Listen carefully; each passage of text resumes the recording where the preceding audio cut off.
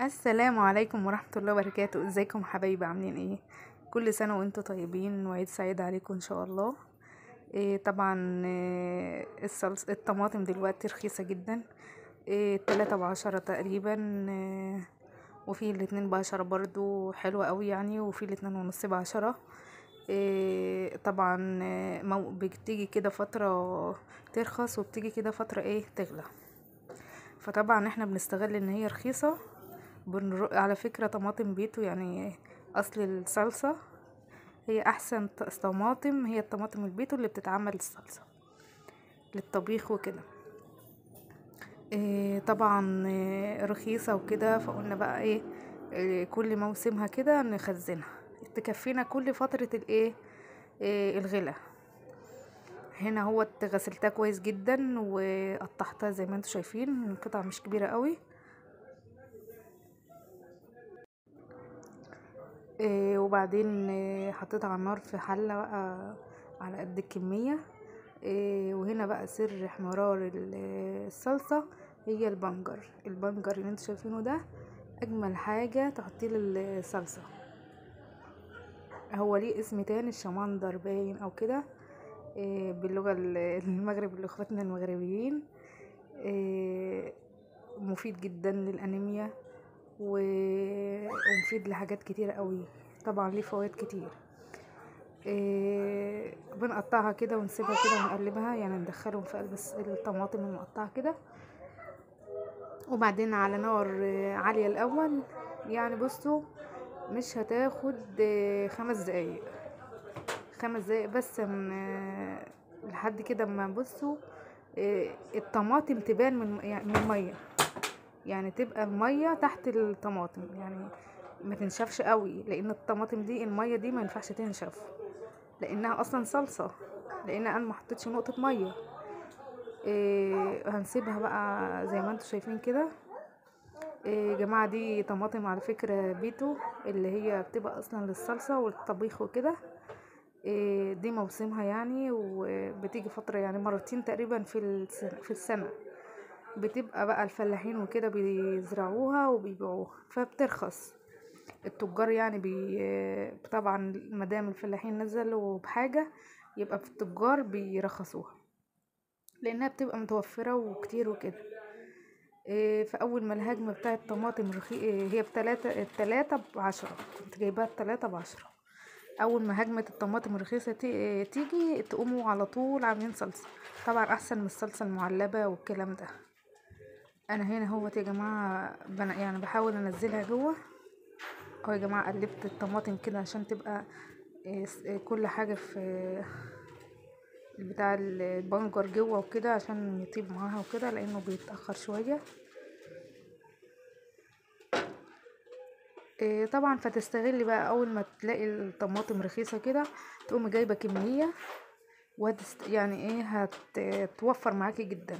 يعني بدل ما تجيبي وهي غالية كيلو بعشرة جنيه وتعمليها صلصة لا اعمليها صلصة وهي رخيصة وحطيها في الفريزر. والطريقة سهلة جدا. إيه يا دوبك ات النار عليها خمس دقايق أو عشر دقايق إيه زي ما أنتوا شايفين كده في الفيديو. إيه يا دوبك بس اما الطماطمية تطرى خالص معايا والمية تقل شوية. يعني البقبقة اللي أنتوا شايفينها دي بتقل بتخش لجوه بتبقى جوه بتنشف من فوق. شايفين؟ وما شاء الله ما شاء الله بتبقى حمرا خالص والبنجر ده بيخليها إيه، حمرا وطبعا مفيد إيه، فبحطه يعني مادام مش بناكله كده مش بنحبه في أكل عصير أو مثلا في الصلصه في السلطة والكلام ده فأنا بنحطه في في الصلصة كده عشان يبقى إيه؟ طعمه حلو ومفيد طبعا. وعلى فكرة مش بيبقى وا- واضح في, الأكل يعني ولا كده. أهو يا جماعة شايفين؟ هي نشفت من فوق أهيت. شايفين؟ نشفت خالص بس فيها مية لأن أنا ما حطيتش مية عليها خالص. المية دي نازلة من الطماطم. فكده كده أنت لازم تعصريها تضربيها في الخلاط وف... وتعينيها كده. وكده كده برضو هي كده نص سوا. بتسبكيها طبعا قبل الأكل وكده زي ما هتعملي الأكلة. وطبعا موفرة جدا وبدل ما تجيبي وهي غالية لأ نجيبها وهي رخيصة ونوفر أهي توفير وكده. ويا رب يكون عجبكم كده و... شايفين يا جماعة؟ والله على فكرة شايفين الإحمرار ده هو دي لونها الطبيعي. شايفين أنا كده بفضيها بقى في الخلاطة قدامكم هضربها بقى واجيلكم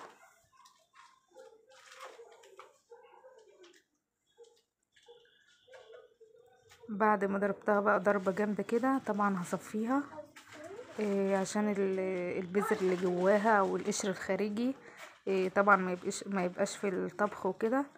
فلازم الخطوة دي مهمة. للناس اللي مش بتحب الحاجة تحت بقها كده يعني البذر والقشر ده برضو مش كويس.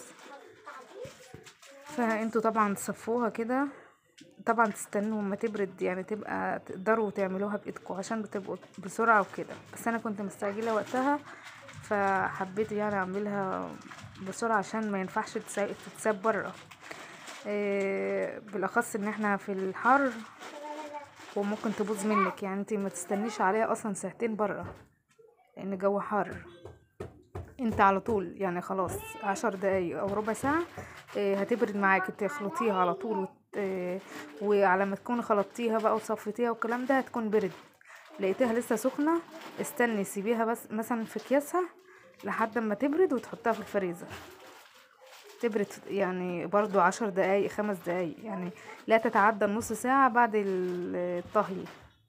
شايفين يا جماعة؟ تحفة تحفة تحفة تحفة. بجد التصوير مش مبينة. وحمرة جدا. فعلا وبتخلي الأكل أحمر أحمر وطعمه حلو. لا تحتاج للصلصة طبعا المعلبة دي واللي بره اللي إحنا ما نعرفش مصدرها إيه ولا أي حاجة. وطبعا حاجة اقتصادية كده علشان إيه؟ الحبايب إيه طبعا إيه ممكن تجيبي أكياس اللي هي التلاجة دي اللي هي هي اسمها أكياس لبن أو تلاجة اللي هي الطويلة دي على حسب ما أنتي هتحطي إيه. يعني أنت عايزة كمية بسيطة في الكيس هتجيبي حجم صغير. إيه ده حجم كيلو يا جماعة. فأنا بجيب كده بعد ما صفيتها بجيب معيار كده كوباية مثلا. بحط مثلا كوباية كوباية ونص على حسب طبختك وعلى حسب أنت بتستخدمي إيه. يعني ممكن مثلا أزود كيس أقلل كيس على حسب ما أنا هعمل بيه إيه. شايفين يا جماعة؟ على فكرة في اكياس كده بتبقى بتتقفل كده بتكة كده بتبقى شكلها حلو قوي وشيك. إيه ممكن تجيبوها برضو لو في. إيه مقدرتك يعني. إيه بس دي كويسة يعني شغالة. إيه يا رب الفيديو يكون عجبكم وأنا خفيف عليكم. والسلام عليكم ورحمة الله وبركاته.